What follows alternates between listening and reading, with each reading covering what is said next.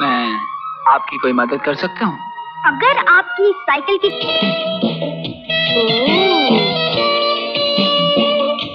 और ड्राइवर पड़ोस की सीट पे बैठा हुआ है अरे नहीं Halo Sobat Boli Film, kembali lagi bersama kami di Sankar Studio Bagaimana kabar kalian semua? Semoga selalu sehat dimanapun kalian berada Dan pada section kali ini, kami akan menghadirkan Sunil Shetty yang berduet dengan Akshay Kumar dalam filmnya yang berjudul Wak Hamarahe Film ini juga dibintangi oleh dua artis cantik Ayeska Julka dan Mapta Kulkani Film ini merupakan film yang bergenre action romantis yang dirilis pada tahun 1993.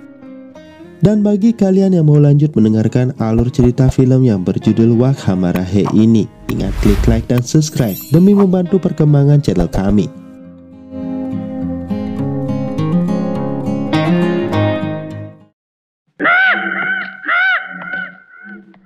Di awal film kita diperkenalkan Kolonel Cikara merupakan seorang kolonel tanpa kerajaan yang setiap kemunculannya akan dibarengi dengan suara gagak yang sedang jatuh cinta. Cikara ini disambut seorang politisi bernama Lisha yang ingin bekerja sama secara licik dengan Cikara untuk menghancurkan India dan menguasainya. Lisha juga sudah menyiapkan istana dan pasukan buat Cikara, namun sayangnya tanpa diduga, Cikara malah membunuh Lisya dan Cikara juga mengambil anak buahnya.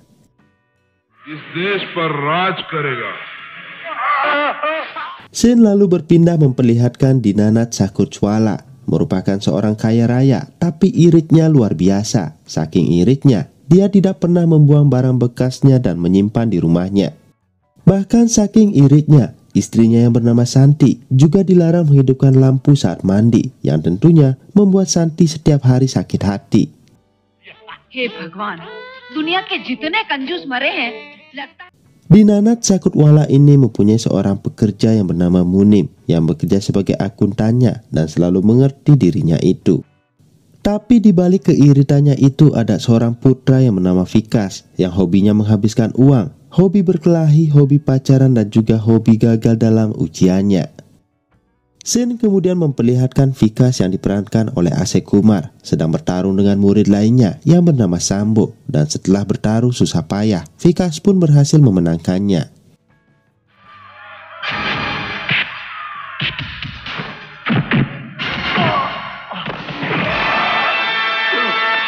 Vikas ini mempunyai kekasih bernama Ayesa yang diperankan oleh Ayeska Julka dan teman-teman Vikas meminta Vikas mengadakan pesta atas keberhasilannya mengalahkan Sambo. Vikas tentu berpikir keras, apalagi keesokan harinya adalah hari pengumuman kelulusan ujian kelasnya dan jika ayahnya tahu kalau dia tidak lulus lagi, maka dia tidak akan pernah mendapatkan uangnya untuk membuat pestanya. Salah satu teman Vikas meminta Vikas membuat foto untuk surat kabar kemenangannya di karate melawan Sambo dan di sanalah Vikas mendapatkan sebuah ide. Keesokan harinya Dinanat sudah menyiapkan senapannya karena jika Vikas tidak lulus lagi maka dia akan menembaknya. Namun tiba-tiba ada sebuah koran datang dan di sanalah terpampang jelas foto dari Vikas sebagai murid top university. Dinanat pun langsung jatuh pingsan. Vikas yang datang pura-pura malu atas keberhasilannya itu dan di sanalah Vikas meminta uang ke ibunya untuk mengadakan sebuah pesta. Santi pun langsung memanggil akuntannya untuk memberikan uang kepada Vikas dan setelah itu Vikas tentu langsung kabur sebelum kebohongannya ketahuan. Di tempat lain, seorang anggota DPR bernama Tejas di demo para murid yang dipimpin oleh putrinya, yakni Ayesa dan Mamta, yang diperankan oleh Mamta Kulkarni. Tejas pun langsung mencari istrinya dan meminta istrinya yang bernama Chandra Muki untuk mengabulkan permintaan anaknya yang ingin mengenakan pakaian minim. Tejas yang seorang politikus takut jika warga lain melihat keramaian di depan rumahnya yang tentunya akan berpikir negatif untuknya dan membahayakan kursinya. Tejas juga mempunyai seorang ipar bernama Suraji yang merupakan seorang jenderal polisi yang waktu itu tentu terkejut melihat keponakannya mendemo ayahnya sendiri. Di sana timbullah sebuah ide kalau mereka akan menyetujui permintaan anaknya. Tetapi setelah itu, Tejas akan langsung menikahkan mereka agar Tejas tidak perlu lagi pusing di demo oleh anaknya sendiri. Yeah! Kembali ke rumahnya Dinanat Sakutwala, di mana saking bangganya, Dinanat menempelkan koran kelulusan anaknya di punggungnya. Akan tetapi setelah itu ada pegawainya membawakan koran yang asli, yang ternyata hanya berisi berita tentang teroris Cikara, yang akhirnya membuat Dinanat sadar kalau dia dibohongi lagi oleh anaknya. Vikas ternyata sudah menghabiskan uangnya untuk berpesta ria dan keesokan harinya Vikas yang tidak ingin mendapatkan amarah dari ayahnya langsung berpura-pura ingin bunuh diri. Santi tentu berlari untuk menghentikan anaknya itu, tetapi Dinanat meminta Vikas untuk tidak ragu lagi agar Vikas segera mati dan tidak lagi menghaburkan uangnya. Pada akhirnya Vikas tidak jadi bunuh diri yang tentunya membuat Dinanat kesal setengah mati.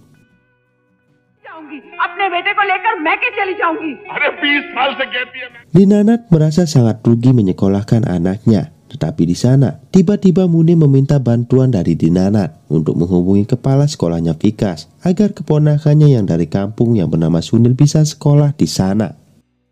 Sin kemudian berpindah memperlihatkan seorang pria kekar beruban sana-sini menghajar penjahat yang sedang berjudi.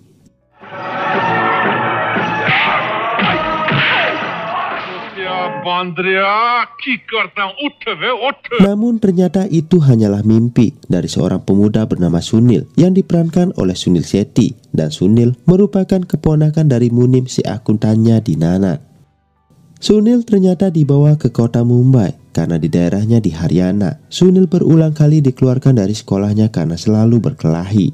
Munim pun berpikir memutar otaknya berlawanan arah jarum jam yang memunculkan sebuah ide mendadani Sunil seperti cecep sehingga tidak ada lagi orang yang akan mengganggunya.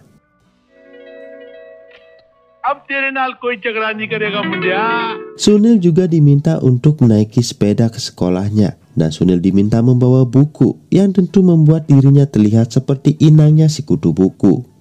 Di jalan Sunil melihat Mamta yang saat itu ban mobilnya pecah. Sunil pun berhenti menawarkan bantuan, namun Mamta malah meremehkannya karena terlihat lemah dan lebih memilih meminta bantuan orang lain.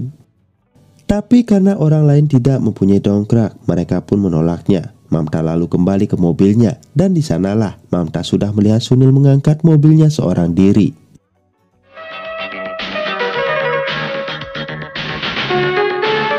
Mamta tentu terkejut. Mamta lalu bergegas untuk mengganti bannya dan setelah selesai, Mamta pun ingin meminta maaf dan berterima kasih. Tetapi Sunil ternyata sudah menjauh dengan sepedanya. Ketika tiba di sekolah, baik Sunil maupun Ayesha terkejut melihat penampilan si Cecep Sunil yang merupakan murid baru di sana. Vikas langsung berulah dan mengerjai Sunil, tetapi Sunil sedikit pun tidak melawan karena janjinya dengan pamannya. Sunil kemudian diminta untuk menanyakan ukuran beranya si Mamta, atau kalau tidak, maka Vikas akan menghajarnya. Sunil yang tidak ingin adanya keributan tentu memilih menghampiri Mamta, membuat Vikas yang lainnya menjadi gembira karena Sunil akan menjadi murid yang keseribu ditampar oleh Mamta. Sunil pun dengan sopan memanggil Mamta dan mereka mulai berkenalan. Mamta pun berterima kasih kepada Sunil, tetapi Sunil dengan terbata-bata meminta apa yang diminta oleh Vikas dan yang lainnya.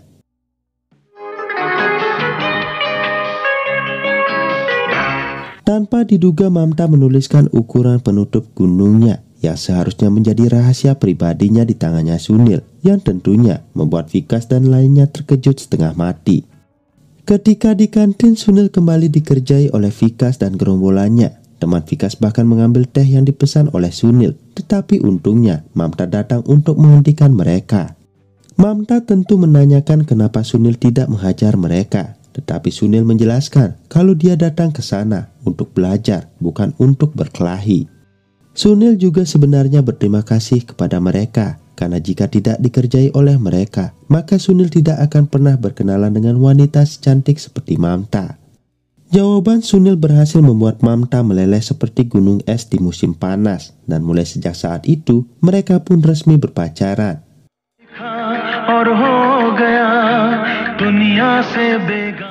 Keesokan harinya Sunil bahkan datang menaiki mobil bersama dengan Mamta yang tentunya mengejutkan Vikas dan gerombolannya. Vikas dan kawannya pun langsung membuli Sunil lagi, tetapi Sunil tidak melawannya sehingga membuat Mamta menjadi kesal dan memanggil Sunil sebagai pengecut. Saking kesalnya, Mamta bahkan meminta Sunil untuk memakai gelangnya dan berdandan seperti seorang wanita. Sunil tentu bisa merasakan kekecewaan dari Mamta dan Sunil merasa kalau dia harus memberikan Vikas pelajaran. Setibanya di rumah, Sunil memohon kepada pamannya untuk diberikan sekali saja berkelahi. Munim pun menyetujuinya, tetapi dengan syarat Sunil tidak boleh mendahuluinya. Sunil tentu menjadi sangat senang. Nah keesokan harinya, Sunil pun langsung merubah gayanya bak preman. Tapi sayang, Vikas malah tidak memperdulikannya. Berulang kali Sunil mencuri perhatian dari Vikas, tapi tetap saja Vikas tidak menghiraukannya, yang tentunya membuat Sunil mengeluh ke Mamta. Hingga akhirnya selesai jam pelajaran, tiba-tiba Sunil melihat di mana Vikas dibantu temannya menabrak sepedanya. Sunil pun langsung gembira dan langsung berlari ke arahnya Vikas dan mereka langsung berkelahi.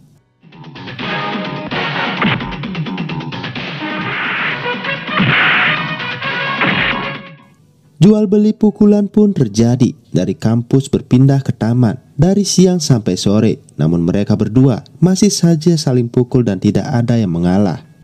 Hingga akhirnya di sebuah gedung, Vikas tiba-tiba salah langkah hingga akhirnya dirinya terjatuh dan di sana Sunil mengulurkan tangannya.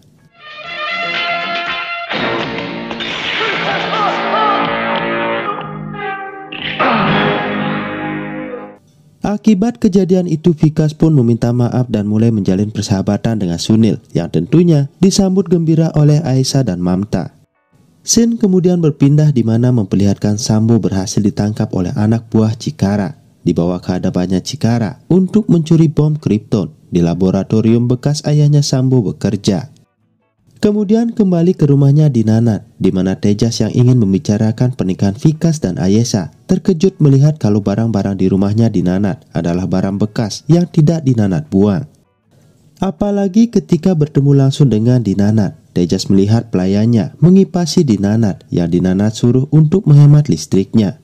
Tejas pun langsung ke topik pembicaraan yaitu pernikahan antara Vikas dan Ayesa. Dan di sana Dinanat langsung terkejut dan membawakan dokumen biaya yang Vikas habiskan dari masih kandungan sampai sekarang. Dan semuanya berjumlah total 10 lak sehingga Dinanat pun meminta mahar 10 lak dari Tejas jika ingin menikahkan anaknya dengan Vikas. Tejas tentu menjadi pusing akan permintaan itu dan ketika tiba di rumah, Tejas langsung menanyakan ke Mamta siapa pria yang ingin dia nikahi. Di saat yang sama Sunil datang membuat Tejas terkejut, tetapi beda dengan Vikas karena Sunil berasal dari keluarga petani. Tejas malah meminta Mamta mencari pria lain. Akan tetapi Sunil menjelaskan kalau dia akan bekerja keras membahagiakan Mamta. Tejas lalu memberikan sebuah tantangan, di mana jika Sunil bisa membeli rumah dalam waktu enam bulan ke depan, maka dia setuju Mamta menikah dengan Sunil. Sen kemudian berpindah di mana pada malam itu Cikara mulai bergerak ke laboratorium rahasia yang alamatnya diberikan oleh Sambo. Dengan sadis Cikara menghabisi penjaga dan pekerja di sana dan setelah berhasil mendapatkan bom kriptonnya, Cikara juga membunuh kepala laboratorium itu.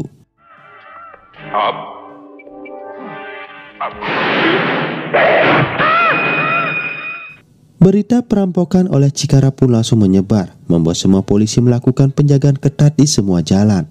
Sambo yang membawa bom kripton itu pun menjadi ketakutan, tetapi di saat yang sama, di depannya Sambo melihat ada Sunil dan Vikas yang sedang membicarakan masalah pernikahan mereka. Vikas memberikan ide ke Sunil untuk menculiknya, dan setelah itu Sunil harus meminta uang tebusan ke keluarganya Vikas dan uangnya bisa Sunil gunakan untuk membeli rumah. Di sana Vikas melihat Jenderal Surajmukti dan langsung memanggil calon pamannya itu untuk berbahasa basi dengannya. Surajmukti juga menceritakan mereka sedang mencari bom kripto yang diculik oleh Cikara. Melihat kedekatannya itu, Sambo pun langsung menaruh bom di mobilnya Vikas. Dan seperti yang diharapkan, mobilnya Vikas tidak diperiksa oleh polisi dan dibiarkan lewat begitu saja oleh Surajmukti. Setibanya di rumah, semua barang-barang Vikas diambil oleh pembantunya dan di sanalah bom kripto itu tanpa sengaja terjatuh dan bercampur dengan barang-barang bekas milik Dinana.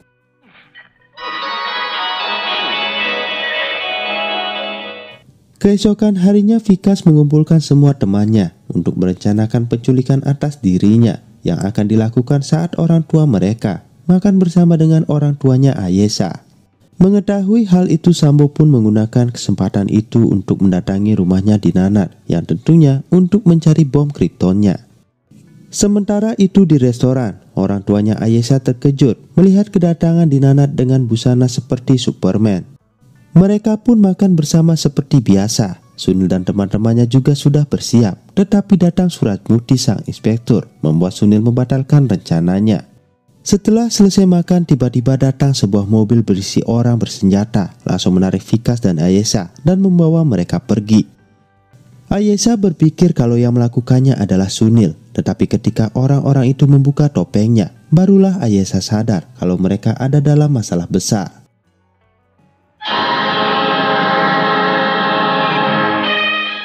Sementara itu di rumahnya di Nanat, Santi meminta suaminya untuk memberikan berapapun uang tebusan yang diminta untuk membebaskan Vikas.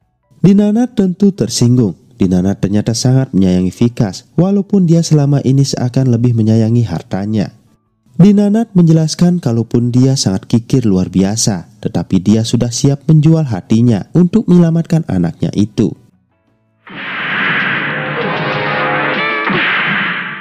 Kembali ke markasnya Cikara, di mana Vikas disiksa dan ditanya tentang bom kriton yang Vikas tidak tahu keberadaannya.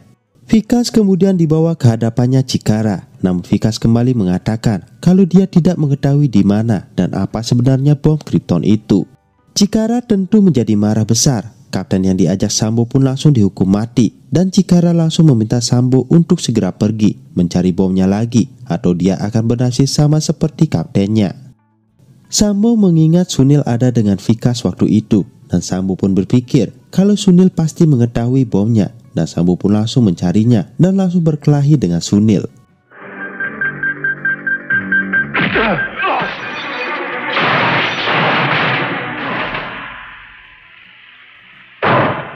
Namun sayang Sambo bukanlah tandingan dari Sunil. Sambo pun langsung menceritakan tentang bom kriton itu dan nyawa Vikas yang dalam bahaya. Sunil kemudian meminta Sambo agar Vikas dan Ayesha tidak dilukai, sementara dia mencari bom kritonnya dan berjanji akan membawakannya ke markasnya Cikara. Sin kemudian berpindah, di mana Sunil dan keluarganya Vikas langsung mencari bom kriton itu, tetapi mereka kesulitan untuk menemukannya karena saking banyaknya barang-barang bekas yang ada di sana. Santi pun menjadi sangat sedih dan menjelaskan jika dia kehilangan Vikas, maka dunianya hanya akan ada kegelapan.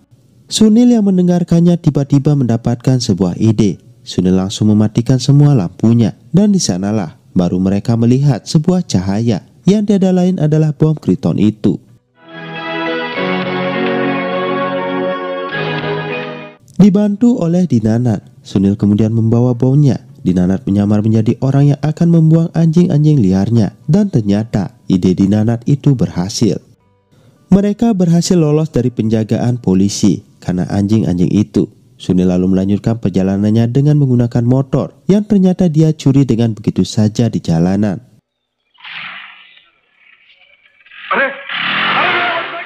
Mereka kemudian dijemput oleh Sambo yang membawa mereka ke markasnya Cikara. Tetapi sayang, Cikara malah mengkhianati mereka.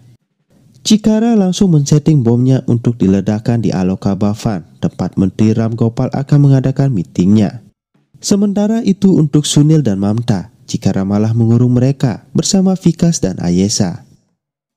Singkat cerita di hari peledakan bomnya, Cikara mendapatkan seorang tamu asing yang akan menjadi investor dirinya. Tetapi tamu itu meminta Cikara mengirim orang biasa untuk menjemputnya, bukan anak buah dari Cikara. Cikara pun akhirnya mengutus Vikas dan Sunil untuk menjemput tamunya dan kesempatan itu tentunya dipergunakan dengan baik oleh Vikas dan Sunil. Vikas kemudian mengirim orang asing itu ke polisi dan Vikas menandani ayahnya dan calon mertuanya seperti orang asing dan menghadap ke Cikara. Dinanat yang berpakaian seperti Michael Jackson pun disambut baik oleh Cikara dengan tarian meriah yang dipimpin oleh Ayesa dan Mamta. Namun tanpa disadari oleh Cikara, Vikas dan Sunil pun mulai bergerak melumpuhkan satu persatu anak buahnya dan ketika Cikara tersadar, semua anak buahnya ternyata sudah berguguran. Cikara pun berhasil kabur, tetapi Vikas dan Sunil memilih bergegas ke Aloka Bhavan, tempat sang menteri memberikan pidatonya. Di Aloka Bhavan, semua politisi dan pejabat penting sudah berkumpul, menunggu kedatangan Menteri Ram Gopal. Dan ketika Ram Gopal tiba, semua politisi pun memasuki aula Alokabafan. Dan di sana, Vikas dan Sunil tiba-tiba muncul, menodongkan pistolnya ke Ram Gopal agar tidak memasuki aula itu.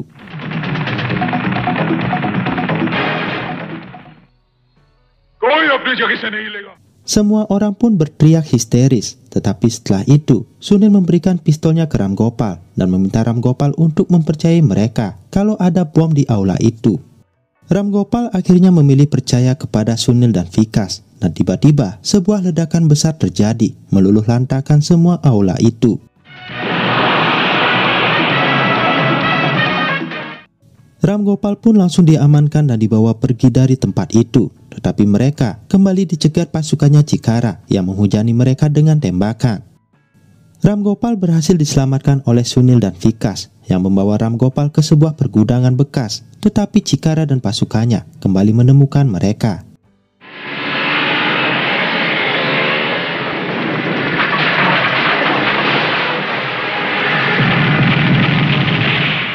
Vikas dan Sunil kemudian melakukan perlawanan kepada anak buah Cikara. Di sana satu persatu, anak buah Cikara dihabisi dan Cikara pun menggunakan pedangnya untuk melawan Sunil dan Vikas.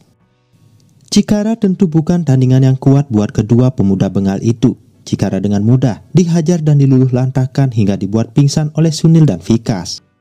Ram Gopal akhirnya selamat dari Cikara. Dinanat dan Tejas beserta kedua putrinya juga datang menyelamati keberhasilan Sunil dan Vikas.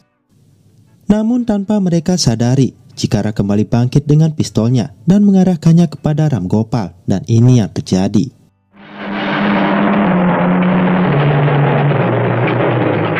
Vikas tentu menjadi murka.